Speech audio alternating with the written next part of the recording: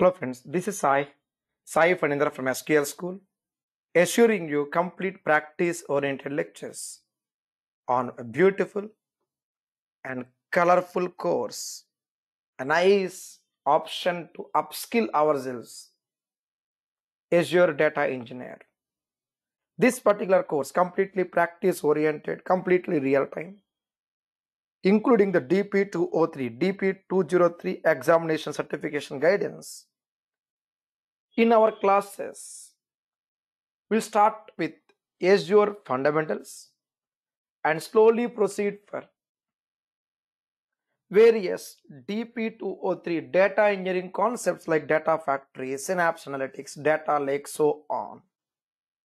This particular short demo session now planned for about uh, 5 minutes.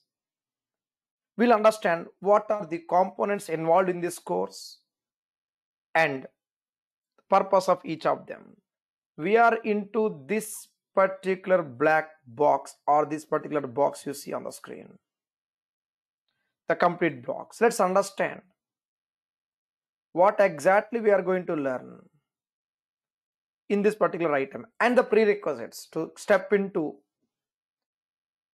this 4 box plus 1 4 plus 1 environment the prerequisite sql server we need to have knowledge on basics of sql server constraints joins in 2017 or 19 or 2022 any one version is okay revise sql server basics so that we can have a good start with our practical real time scenario oriented Azure data engineering classes.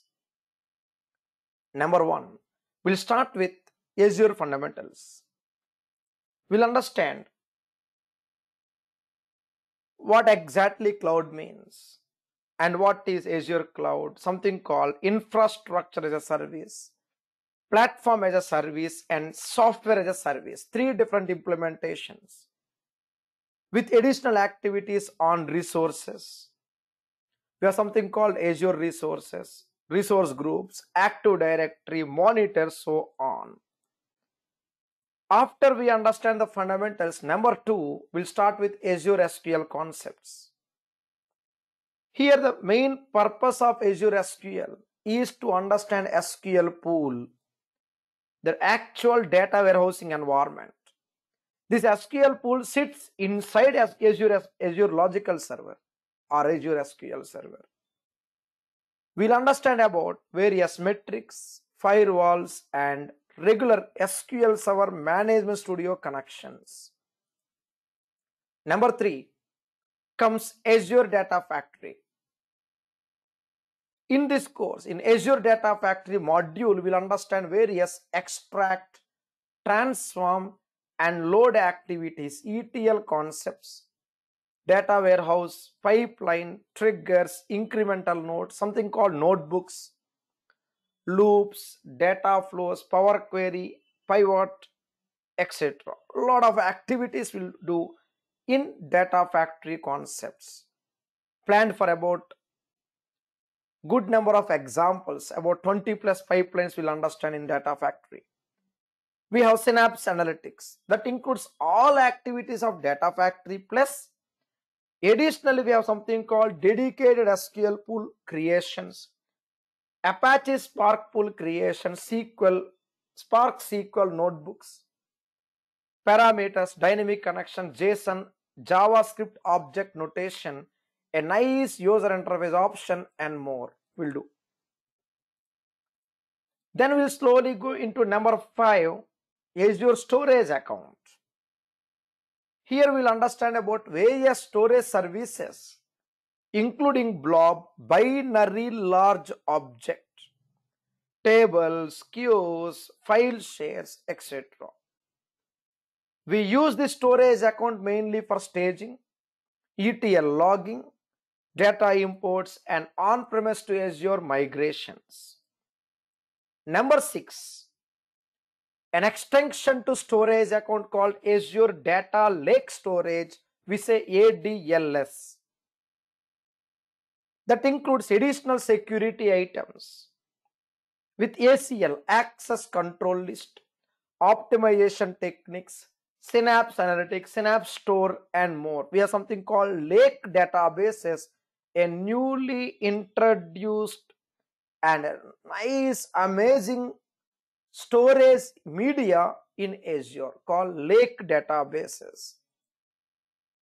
We'll understand them with Synapse Analytics, Synapse Storage, and more.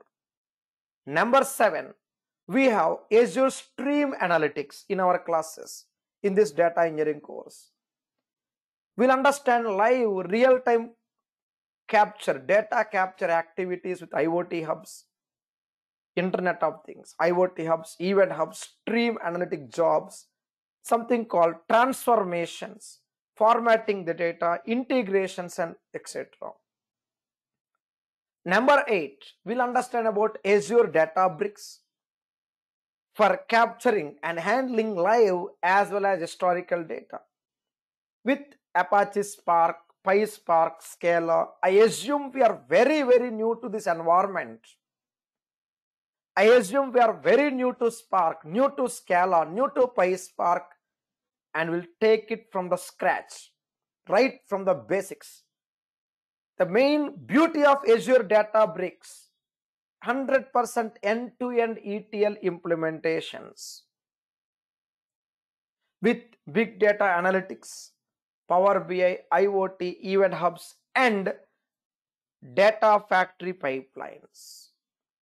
So our course includes the main core heart of our course Azure Data Factory, with additional add-ins, the circles and the boxes.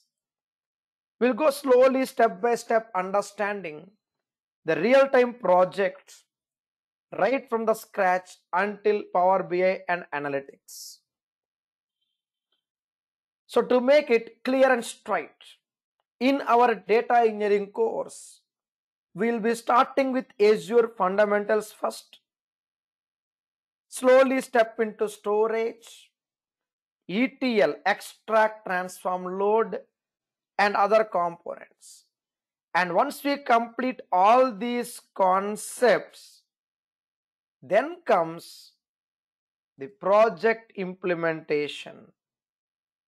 And the project implementation includes the project implementation includes right from the Azure Data Factory and Synapse Analytics to Data Lake, Databricks, Stream Analytics and IoT, Internet of Things. This complete box, it is the complete box with total of 4 plus 1.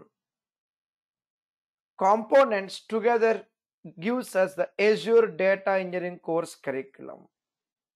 You may extend your learning to Power BI later point of time and here is our courses brochure. We are into box number 7 Azure Data Engineer.